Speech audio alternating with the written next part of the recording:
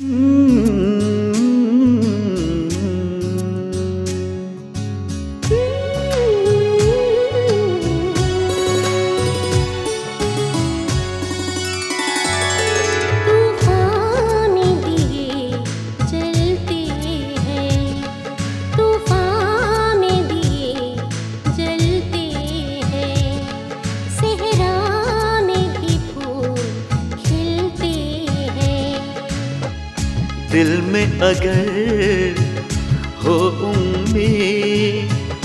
पत्थर भी पिघलते हैं। दूर किनारे मिलते हैं। दूर किनारे मिलते हैं। दूर किनारे मिलते हैं। माँ जी नहीं चाहती कि कोई उनकी बड़ी बहू के आड़े आए। इसीलिए उन्होंने ये कदम उठाया है। अरे भाभी को बनने दो ना प्रधान। मुझे कोई फ़र्क नहीं पड़ता। भाभी तो एक रबर स्टैंप है। जहाँ चाहिए मैं मारता रहूँगा। और पैसे कमाता रहूँगा। हम्म? मैं तो सोच रही थी कि वैलेंटाइन पे ये बात कहूँगी। अरे वैलेंटाइन डे को मार गोली। इतने दिन में तो पता नहीं क्या से क्या हो जाएगा। तू जा और भवानी को आई लव यू बोल दे। पागल कहेगी प्यार का इजहार करने पे देरी नहीं करनी चाहिए समझी?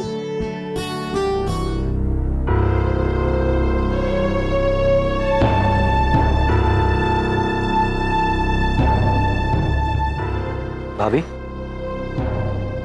भैया अरे कब आए आप? बताना चाहिए ना? बैठो।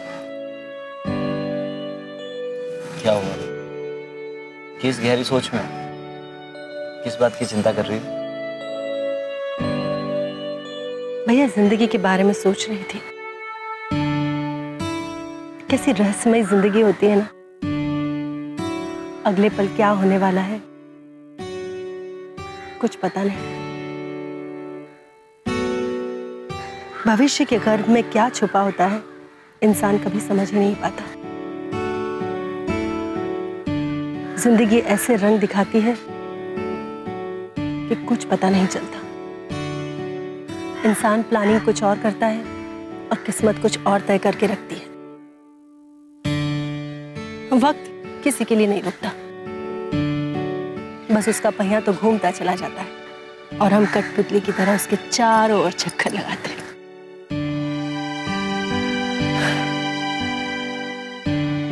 भाभी भाभी, आपकी बातें सुनकर मुझे कॉलेज के दिन याद आ गए। क्या हो गया? कॉलेज के दिनों में मेरा फिलॉसफी फेवरेट सब्जेक्ट हुआ करता था। भैया हमारे विचार ज़िंदगी का आईना होते हैं। और ये दर्द इंसान को ज़िंदगी की हकीकत से मिलवाते हैं। बस दुनिया इसे फिलॉसफी का नाम दे देती है। खैर छोड़ो, मुझे तो मेरे दुख के साथ जीने की आदत पड़ गई। आप सुनो। क्या सुनाऊँगा कुछ नया सुनाने के लिए है ही नहीं। एक बदनाम ज़िंदगी जो पीछे छोड़ा है। और एक ये ज़िंदगी जो अभी ठीक से शुरू ही नहीं हुई है। भाभी कुछ करना चाहता। हूँ मैं अपने आप को बदलना चाहता। हूँ लोगों की मदद करना चाहता। हूँ लेकिन अपने ही जब बीच में आ जाए तो कोई इंसान क्या करे? कई बार सोचता हूँ भाभी, ये रिश्ते नाते जितना सहारा नहीं देते, उससे ज़्यादा कमज़ोर कर देते हैं। और कई बार इंसान सच का साथ इसलिए नहीं दे पाता क्योंकि उसके अपने बीच में आ जाते हैं। मोह माया इंसान के कर्मों के बीच में आड़े आ जाती है और इंसान उसी में फंस के रह जाता है। शायद इसी के लिए आपके भैया भी ये मोह माया त्याग कर चले गए यहाँ से है ना? भाभी मेरा वो मतलब नहीं था। लेकिन अगर एक पल के लिए सोचा जाए, हकीकत भी यही है। वीरेंद्र भाई साहब, इसी मोह माया के चलते कविता जी से शादी नहीं कर पाए। और माँ भी यही चाहती थी कि वीरेंद्र भाई साहब की कविता जी से शादी ना हो। फिर भी आखिर में भाई साहब को रिश्तों की कीमत चुकानी पड़ी। अच्छा भैया, कविता के परिवार के बारे में आपको कुछ पता चला? उस परिवार के साथ बहुत गलत हुआ। भाभी, बहुत कोशिश की, पर कुछ भी नहीं पता चला। मैं तो सिर्फ़ ऊपर वाले से यही दुआ करूँगा कि वो लोग जहाँ भी हो, सही सलामत हो।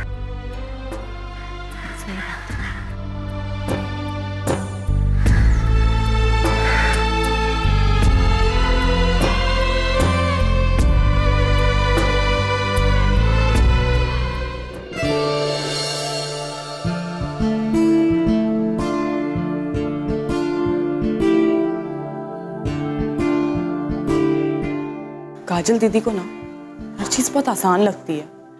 अरे ऐसे थोड़ी ना होता है कि आई लव यू बोल दिया और प्यार का इजहार हो गया।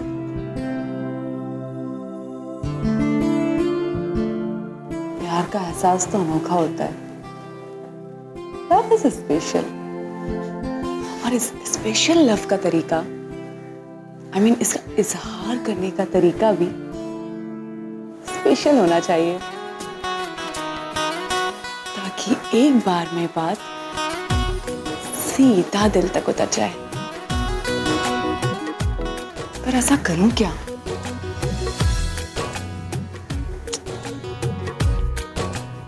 मैसेज? नहीं। मैसेज तो बहुत कॉमन हो गया है। फ़ोन करके बोलूँ? फ़ोन करके बोलने का तरीका भी बहुत कॉमन है यार।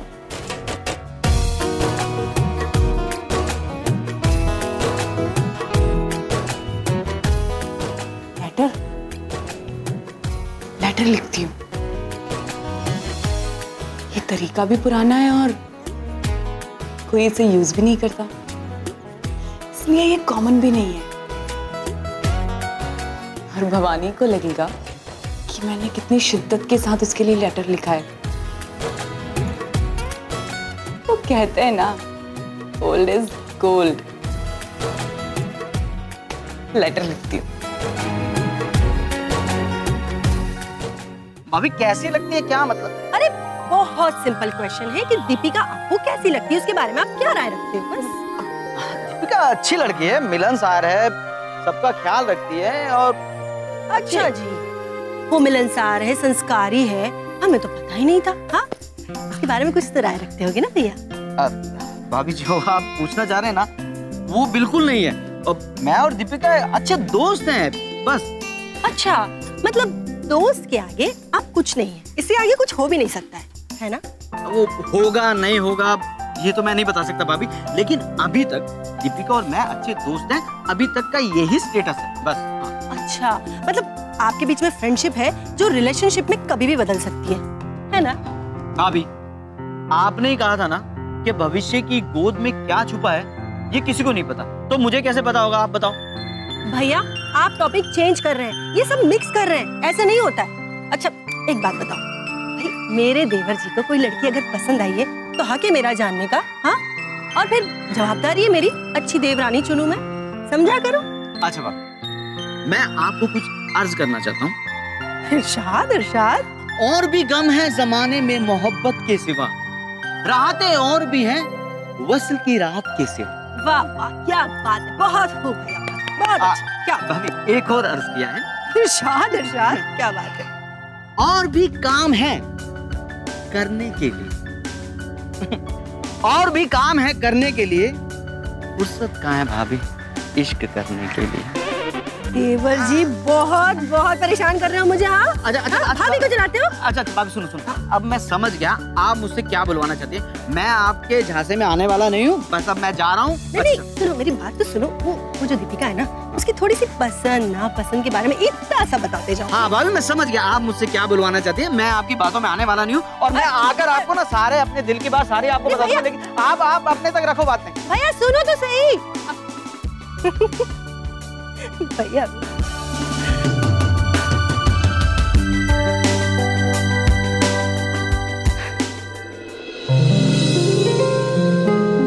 शुरुआत कैसे करूँ? क्या लिखूं?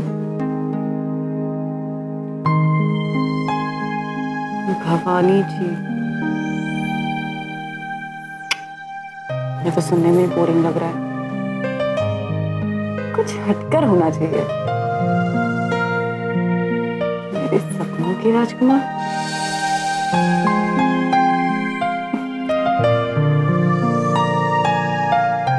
Dear Bhavani yes dear Bhavani तुम सोच रहे होंगे कि मोबाइल और ईमेल के दौर में कौन लेटर लिखता है? लेकिन हाथ से लिखे गए शब्द भावनाओं को सीधा दिल तक पहुंचाते हैं। इसीलिए मैंने ये लेटर लिखना ठीक समझा। जब बात दिल की आती है तो दिमाग भी वही करता है जो दिल उसे कहता है। और जब दिल किसी और के लिए धड़कने लगे तो उसे प्यार, मोहब्बत, इश्क कहते हैं। एक ऐसा एहसास जब किसी और के बारे में ही सोचने लगते हैं।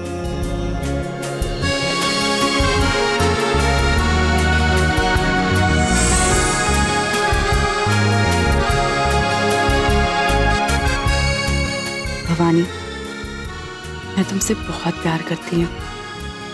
इस बात का एहसास मुझे पहले हो चुका था। लेकिन दिल की बात सुबह पर आ नहीं रही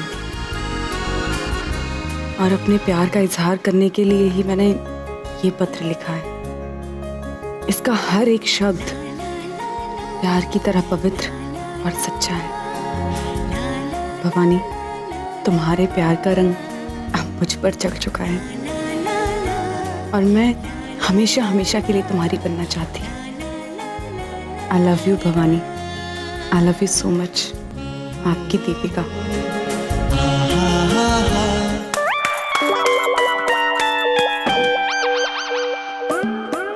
वाह, दीपिका। अपने दिल की बात कहने का क्या खूब तरीका निकाला है तुमने। लोग चाँद पर पहुँच गए हैं। पर तुम किस युग में हो? अच्छा लाओ ये चिट्ठी मुझे दे दो। मैं ना इसे पोस्ट ऑफ़िस में पोस्ट करके आती हूँ। पर वहाँ तो अब गाँव के लोग भी नहीं जाते। तो फिर मेरे पास एक और अच्छा तरीका है। तुम ना ये लेटर माँ जी को दे देना। और कहना कि वो भवानी को दे दे। क्योंकि तुम तो बोलने से रही। है ना? क्या दीदी, आप भी ना? आपको मेरी हेल्प करनी चाहिए और आप हो कि मुझे ताने मारे जा रहे मैं ताने नहीं मार रही हूँ।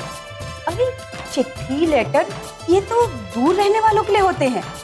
दो कदम पर रहने वालों के लिए नहीं। तू ना, एक काम कर। कोई अच्छा सा पहर देख के भवानी का मूड भाव और अपने इन प्यारे प्यारे होठों से उसको जाकर आई लव यू कह दे। सिंपल इतना आसान नहीं है दी जितना आप कहते हो। अच्छा आसान नहीं है। तो तू ये लेटर अपने जीजा जी को दे दे। जीजा जी को बोलना कि पहले वो पढ़ ले। अगर कोई गलती हुई हो तो वो ठीक करके भवानी को दे दे। प्लीज़ दी मज़ाक मत करो मुझसे। अरे मैं मज़ाक नहीं कर रही हूँ। तू किस जमाने में जी रही है? दिखा ना लेटर मुझे। अरे देखो तो। पहले प्यार की चिट्ठी कैसी होती है? मुझे नहीं देना कोई लेटर। अरे मैं हूँ ना तेरी डाकिया। फाड़ा क्यों तूने? पहले प्रेम का पत्र है ना? पहला प्रेम पत्र। और फिर मैं हूँ ना। मैं इसे सही जगह पर बिना टिकट के पहुँचा कर आती हूँ।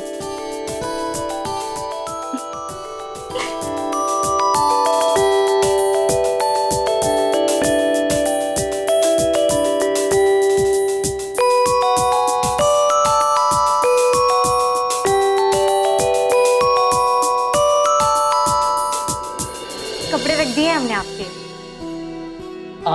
अच्छा सुनो। भाभी कुछ देगी तुमको? वो ले लो मैं तुमसे बाद में ले लूँगा। ठीक है भैया। दीजिए भाभी। चल हट। बड़ी आई लाइए भाभी। जाके किचन में काम कर बहुत सारा काम पड़ा है वहाँ पर।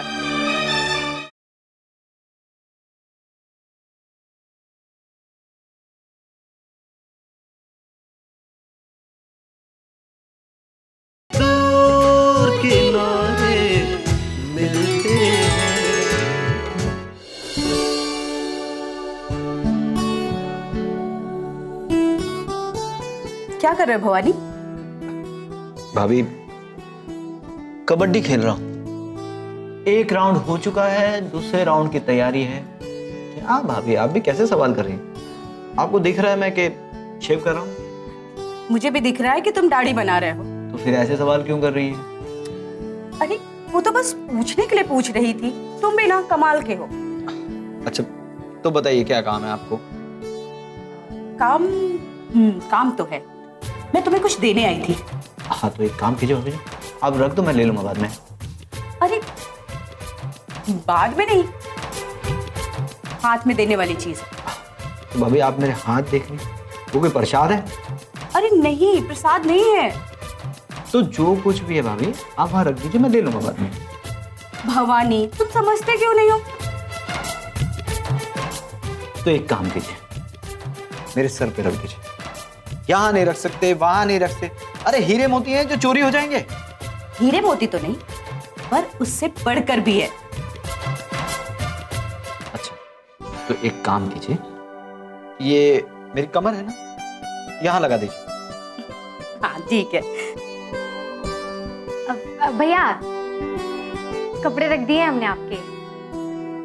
हाँ अच्छा सुनो। भाभी कुछ देगी तुमको? वो ले लो मैं तुमसे बाद में ले लूँगा।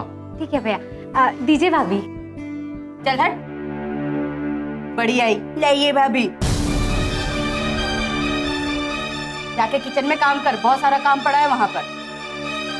काम तो करना नहीं बस यहाँ वहाँ भटकते रहना। जा यहाँ से। कोई बात नहीं मैं बाद में तुम्हें दे दूँगी। अभी मैं जाती हूँ। भाभी सुनो तो। ए भगवान। ये औरतें भी ना भगवान भी नहीं जानता इनके दिमाग में क्या क्या चलता रहता है।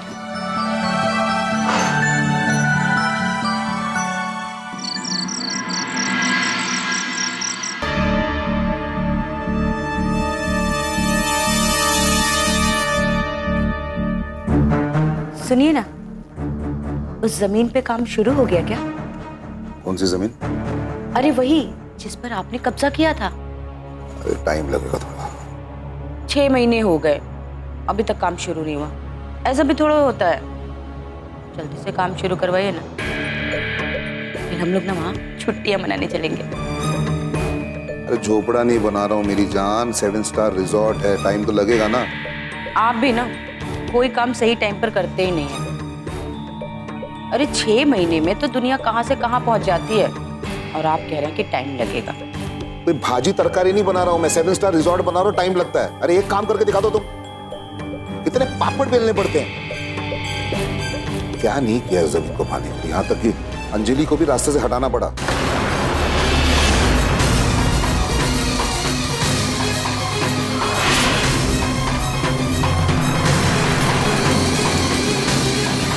सच में? सच्ची गले का फंदा भर देते हो। अगर उसे नहीं हटाता ना तो ज़मीन कभी हाथ नहीं आती। ऊपर से कोई बाबूलाल अगर गवाही दे देता कोर्ट में, फिर तो भूल ही जाओ।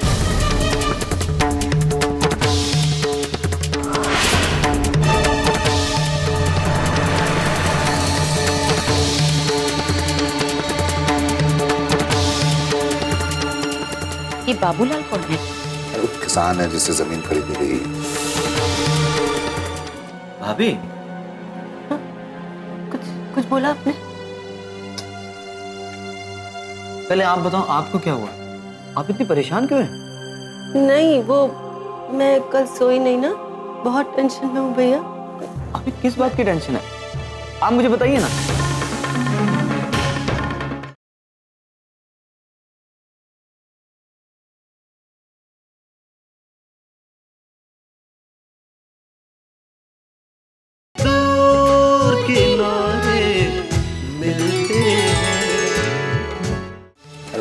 किसान है जिससे ज़मीन खरीदी गई। तो क्या है अगर बाबूलाल जाके गवाही दे देता तो हमेशा हमेशा के लिए फिर से एक बार ये ज़मीन हमारे हाथ से निकल जाती। फिर से का क्या मतलब? मैं कुछ समझी नहीं। बाबूलाल से वीरेंद्र भाई साहब मनोहर भाई साहब ने ज़मीन खरीदी। अभी ज़मीन के चक्कर में मुझे मनोहर भाई साहब को रास्ते से हटाना पड़ा मरवाना पड़ा।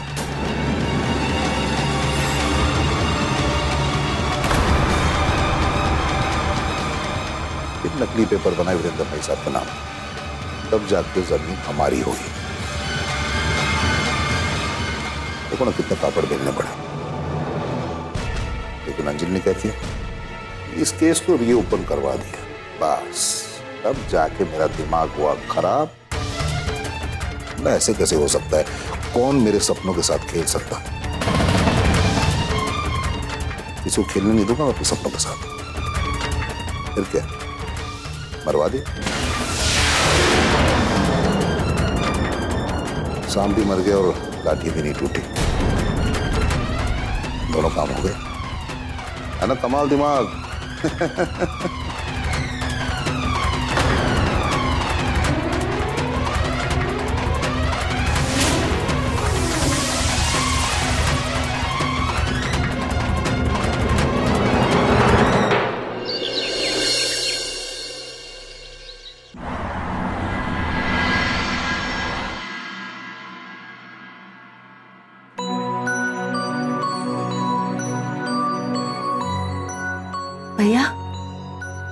सुबह हो गई।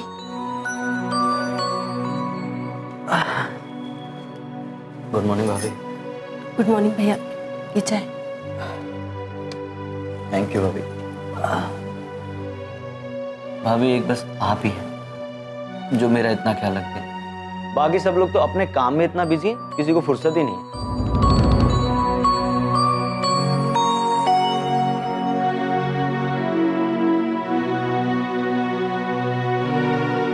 भाभी।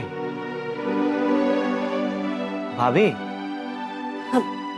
मुझसे कुछ बोला आपने? भाभी आपने चाय में प्यार कुछ ज़्यादा ही मिला दिया। कि ज़्यादा मीठी हो गई क्या? अरे मीठी नहीं चीनी नहीं है इसमें। अच्छा मैं मैं बना के नहीं नहीं ऐसे ऐसे रहने दो, लेकिन चाय बहुत अच्छी बनी है चीनी की ज़रूरत ही नहीं आपका प्यार ही काफ़ी है।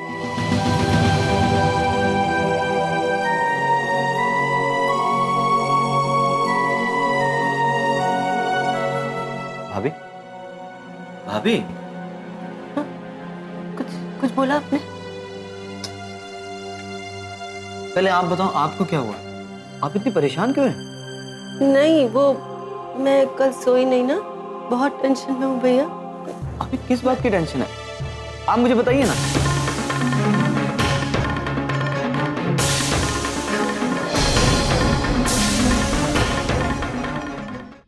उसे मार के मुझे कोई फ़ायदा नहीं होने वाला। वैसे भी कुछ भी बोलने से पहले कुछ सोच लेता हूँ। आप सरासर झूठ बोल रहे हैं। आपको पता था कि अंजलि ये ज़मीन का केस जीत जाएगी। और इसलिए आपने अपने रास्ते से हटा दिया उसको। और किसी को मारकर आप कैसे खुशी रह सकते हो? हमारी भूल जाओगे तू मेरा भाई है। मेरी बात तो ये बिल्कुल नहीं समझता। समझ भी नहीं आ रहा इसके सर पर क्या भूत सवार है। अंजलि का परिवार, अब तुम्हारा परिवार का हिस्सा बन गया और हम सब तुम्हारे दुश्मन बन गए। अपने बड़े भाई से बात करने की तमीज भी भूल गया तू। माँ, आप भी मुझसे एक वादा कीजिए। आज के बाद अपने फ़ायदे के लिए दूसरे का घर नहीं उजाड़ोगे।